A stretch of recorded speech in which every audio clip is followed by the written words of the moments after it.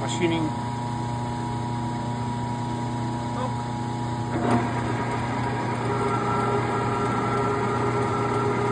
Идемо нагоре, се вижда стружка.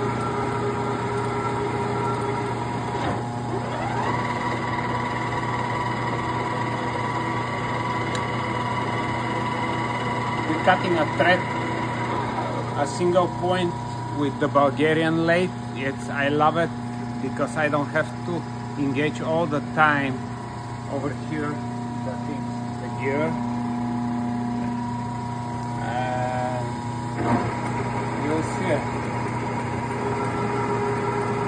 Two inches, four and a half track.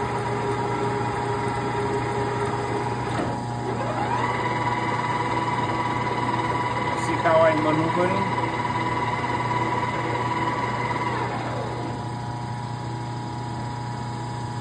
She's gonna show you how I'm gonna maneuver it when it's then I don't have to disengage from the worm, from the screw.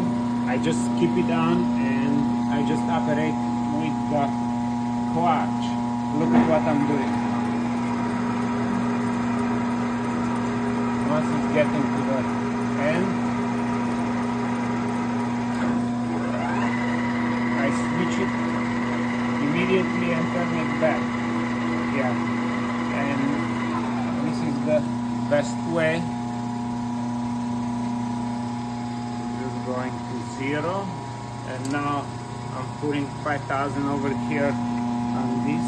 It's a 60 degree uh, across and that's what we're doing. Single pointed. Bulgarian lathe. It's a C10 feet.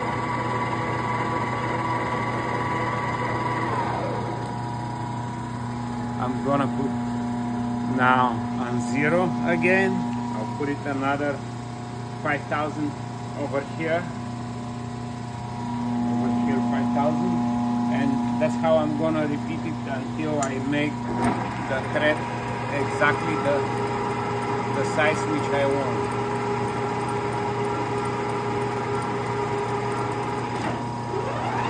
Okay, thank you very much and have a nice day.